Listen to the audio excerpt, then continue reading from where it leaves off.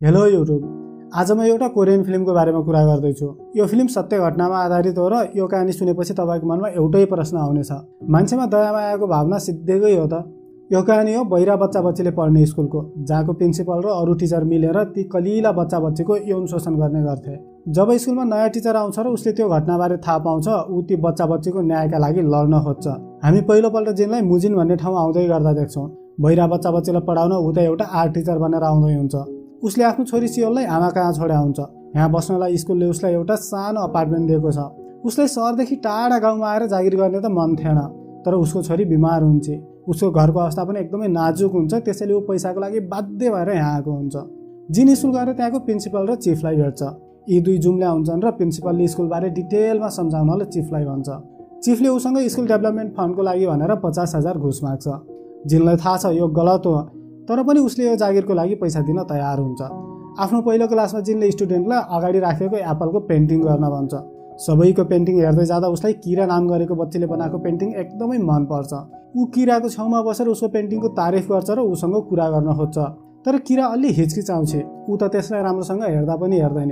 एकछिनपछि अर्को स्टुडेन्ट युन क्लासमा छिर्छ। त्यसलाई किन ढिलाएको भनेर सोद्धा यसले पनि केही रेस्पोन्स नदिई उसलाई हेरिरहन्छ। यी दुवै बच्चाको बडी ल्याङ्ग्वेज र बिहेभ देख्दा यिनीहरू मेन्टल्ली ब्रेक भयो जस्तो लाग्छ। जिन स्टाफ रुममा गएपछि अरू स्टाफसँग ती बच्चाको बारे कुरा गर्छ।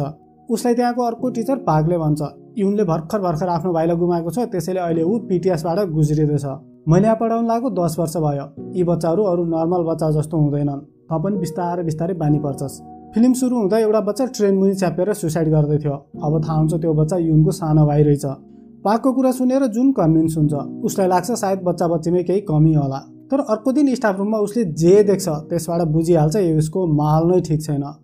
पाकले उनलाई स्टाफ रुममै एकदमै नराम्रोसँग कुटिरह हुन्छ अरू स्टाफले यो सब देखिरह हुन्छन् तर कसैले पनि केही मतलब गरिरहेको छैनन्। जुनले पाकले रोकेर किन कुटिरहेछस् भनेर सोद्धाखेरि उसले भन्छ यो हिजो दुईवटा केटी लिएर स्कुलबाट बाहिर गएको थियो। यसको भाइ पनि यस्तै गरी भाग्दा मऱ्यो हामीलाई यिनको कति माया लाग्छ। यिनलाई केही होला भनेर हामी डराउँछौँ। त्यसैले यिनलाई अनुशासनमा राख्नलाई यो सब गर्नुपर्छ। जुन स्कुलको काम सिधाएर घर फर्किन लाग्दा झ्यालमा बसेकी युरीलाई देख्छ। जुनलाई युरी झ्यालबाट खस्ली भन्ने डर लाग्छ र उसले चिच्चाउँदै उसलाई भित्र जान भन्छ। तर युरी बहिरी भएको हुनाले उसले सुन्दैन।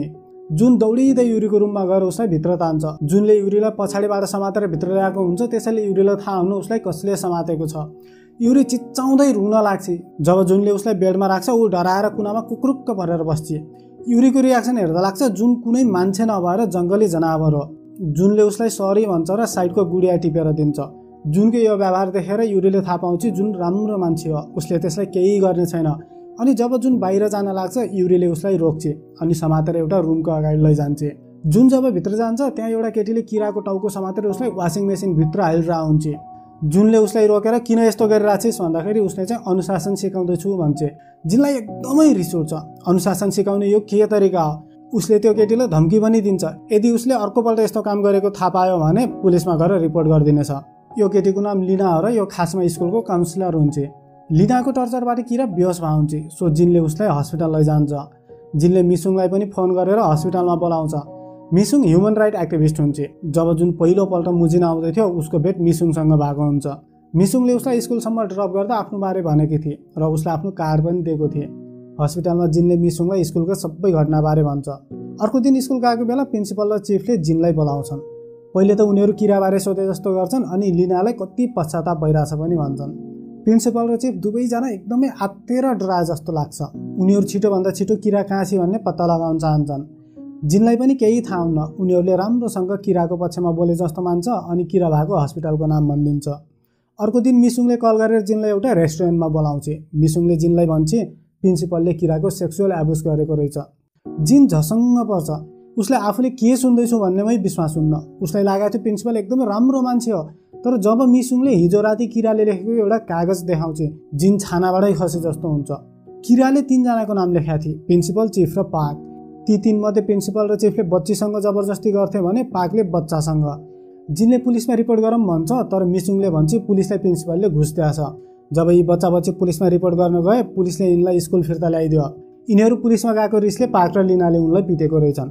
जुन दिन जिनले स्कुलमा डेभलपमेन्ट फन्डको लागि पैसा दिँदै थियो त्यो दिन प्रिन्सिपलको रुममा इन्सपेक्टर पनि थियो। अब बल्ल थाहा हुन्छ खासमा त्यो इन्सपेक्टर ती बच्चालाई फिर्ता गर्ने स्कुल आएको थियो। अनि त्यसको बदलामा प्रिन्सिपलले उसलाई घुस दिइरहेको रहेछ मिसुङसँग कुरा गर्दै गर्दा जिन झसङ्ग हुन्छ। उसले त किरा भएको हस्पिटलबारे प्रिन्सिपल र चिफ दुवैलाई भनिदिइसकेको थियो। ऊ दौडिँदै हस्पिटलतिर जान्छ। उता अर्को साइडमा हामी लिना चिफ र प्रिन्सिपललाई पनि हस्पिटलतिर जाँदै गरेको देख्छौँ। उनीहरू जिनभन्दा पहिले नै हस्पिटल पुग्छन् तर किरा कब्बरमा लुकेर उनीहरूसँग बचा हुन्छ। मिसुङले उसलाई ह्युमन राइट अफिसमा लैजान्छ र त्यहाँ उनले किराको स्टेटमेन्ट रेकर्ड गर्छन्। किराले साइन ल्याङ्ग्वेजमा भन्ने भएको हुनाले जिनले त्यसको ट्रान्सलेट गर्छ। जब किराले आफ्नो स्टोरी भन्न लाग्छ हामी उसको त्यो डरलाग्दो र भयानक दृश्यलाई फ्ल्यासब्याक सिनको रूपमा देख्छौँ। आइएम सरी बट म यो सिनहरूको बारेमा डिटेलमा जानै सक्दैन। यो सिनहरू यति धेरै दर्दनाक छन् कि लाइक सम्झँदा पनि आङ झसङ्ग हुन्छ। तपाईँले यो फिल्म हेर्नुभयो भने यो फ्ल्यासब्याक सिनले तपाईँले केही दिनसम्म हन्ट गर्नेछ। तपाईँले एकदमै रिस पनि उठ्नेछ। ती बच्चा बच्चीप्रति दया लाग्ने पनि छ तर एकदम हामी केही गर्न सक्दैनौँ। जिन र मिसुङले थाहा पाउँछन् किरा मात्र नभएर युरी र युनको पनि शोषण भइरहेको थियो अनि उनीहरूको पनि स्टेटमेन्ट रेकर्ड गर्छन्। युनको स्टेटमेन्टमा थाहा हुन्छ पाकले ऊ र उसको भाइसँग जबरजस्ती गराएको थियो। उसको भाइ यो भयानक घटनालाई सहन नसकेर ट्रेनको अगाडि आएर मरेको थियो। ह्याजिनले सबैभन्दा सकिङ कुरा के थाहा पाउँछ भने स्कुलको पहिलो दिन ऊ स्कुलमा एकदमै ढिलोसम्म बसेको थियो।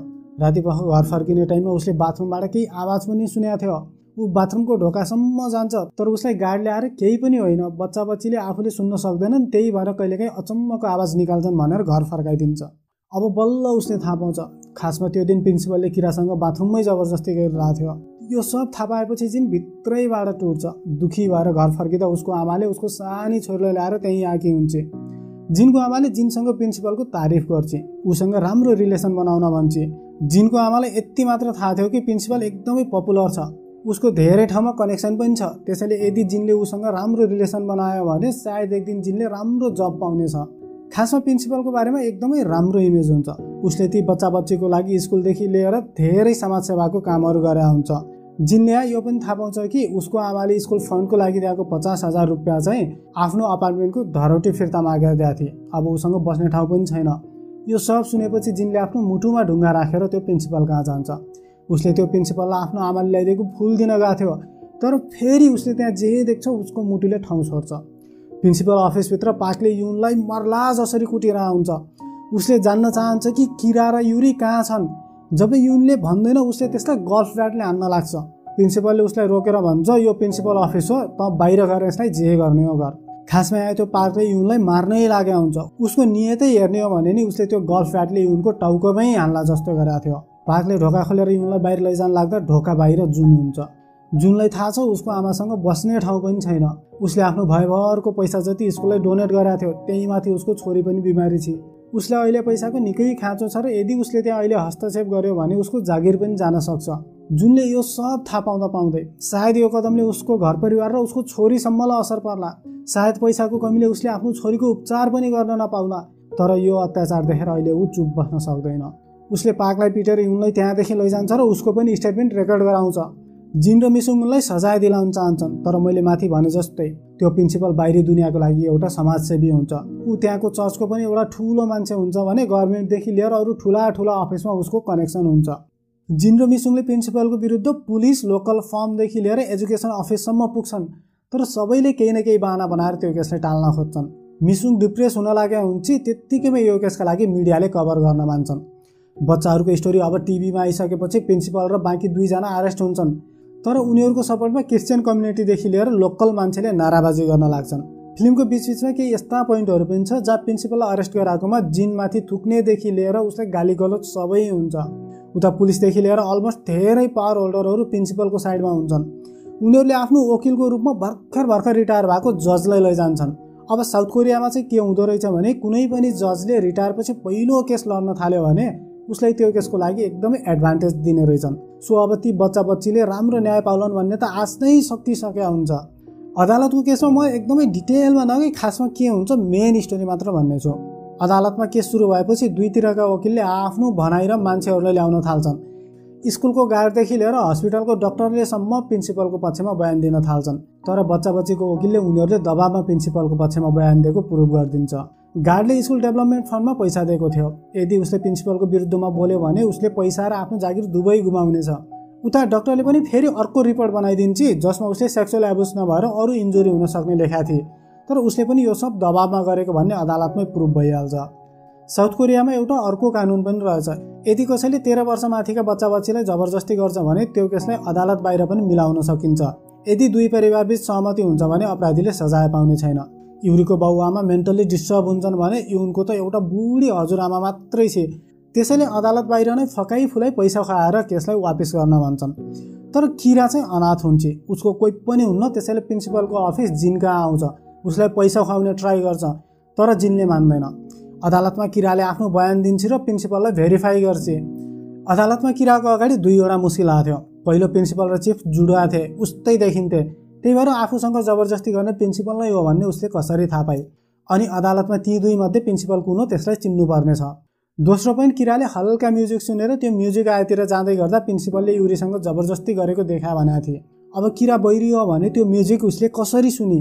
यसको काउन्टरमा पहिले त किराती दुईको अगाडि गएर साइन ल्याङ्ग्वेजमा केही भन्छे अनि प्रिन्सिपललाई चिन्छे खासमा चिफलाई साइन ल्याङ्ग्वेज आउने थिएन। र जतिपल्ट प्रिन्सिपलले किरालाई जबरजस्ती गर्थ्यो उसले लास्टमा साइन ल्याङ्ग्वेजले यदि तैँले यो कुरा कसैले भनिस् भने म तँलाई मारिदिन्छु भन्थ्यो।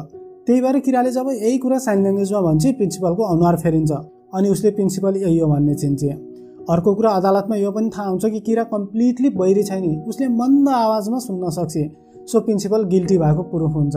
किराले त्यही दिन राति जिनसँग यो पनि भन्छ कि उसले प्रिन्सिपलको अफिसमा युरीसँग जबरजस्ती गर्दै गरेको भिडियो देखा हुन्छ जिन र मिसुङ प्रिन्सिपल अफिस गएर त्यो टेप भेट्छन् अनि आफ्नो वकिललाई दिन्छन्। यो टेपमा भएको डेट अनुसार प्रिन्सिपलले युरीलाई जबरजस्ती गर्दा युरी अझै तेह्र वर्ष पुगेको थियो नि। त्यसैले यो उनको लागि एउटा स्ट्रङ हतियार हुनेछ। वकिलले भन्छ यसलाई हामीले पुरै कोर्टको अगाडि देखाउन सक्दैनौँ। त्यसैले म सुटुक्क जजलाई मात्र देखाउनेछु। तर जब सुनाइ हुन्छ पाकलाई आठ महिना जेल प्लस दुई वर्ष प्रोभिसन हुन्छ भने प्रिन्सिपल र चिफलाई छ महिना जेल र दुई वर्ष प्रोभिसन मात्रै मिल्छ। एकैछिनमा थाहा हुन्छ यो केसका लागि बच्चा बच्चीको वकिल र जजले टन्नै पैसा खाएको हुन्छन्। त्यसै उनलाई त्यति कम सजाय मिल्यो। प्रिन्सिपल र अरू सबै खुसीले रमाउन लाग्छन् र त्यही दिन उनीहरूले पार्टी राख्छन्। जिन आफ्नो सहर फर्किँदै हुन्छ त्यत्तिकैमा उसलाई मिसुङको फोन आउँछ। युन रिसले चुर भएर तिनलाई मार्न गएको छ। यो सब किराले मिसुङलाई भने हुन्छ मिसुङ र जिन युनलाई खोज्न जान्छन् भने उता युनले पाकलाई बाटोमा भेट्छ। युनले पाकलाई छुरा हान्छ र रेलवे ट्र्याकमा लगेर उसलाई पल्टाउँछ अनि फुत्किनै दिन्न। जिन र मिसुङ त्यो देख्न त आइपुग्छन् तर उनले केही गर्नु पहिले नै त्यहाँ ट्रेन आउँछ र पाकसँगै युन पनि मर्छ। जिन र मिसुङ भएर यो केसलाई फेरि रिओपन गर्न त चाहन्छन् तर केही गरी हुन्न उनीहरूले प्रोटेस्ट पनि गर्छन् तर पुलिसले उनीहरूलाई भगाइदिन्छ। अन्त त जिन आफ्नो सहर फर्किन्छ। लास्टमा मिसुङले उसलाई पठाएको एउटा म्यासेजसँगै फिल्म पनि सिद्धिन्छ। मिसुङले ती बच्चाहरू अब ठिक भएको र अहिले उनीहरू एकदमै खुसी छन् भन्ने म्यासेज पठाएकै हुन्छ साइलेन्स फिल्म हेरेर तपाईँले एकदमै रिस उठ्नेछ। तपाईँलाई मनमा लाग्नेछ मान्छे यतिसम्म क्रुर कसरी हुनसक्छ? अझ यो सब गरेको बाहिर आउँदा पनि ती बच्चाले न्याय नपाएको देख्दा सिरियसली यतिसम्म रिस उठ्छ कि माइन्ड नै डिस्टर्ब हुन्छ। यो फिल्मले तपाईँले केही दिनसम्म हन्ट गरिरहनेछ। त्यसैले यदि तपाईँले फिल्म हेर्ने मन गराउनुहुन्छ भने केही डिस्टर्बिङ सिनको लागि माइन्ड मेकअप गरेर बल्ल हेर्नु होला so this is it thank you for watching video मन पऱ्यो भने लाइक एन्ड सब्सक्राइब गर्नु होला. Have a nice time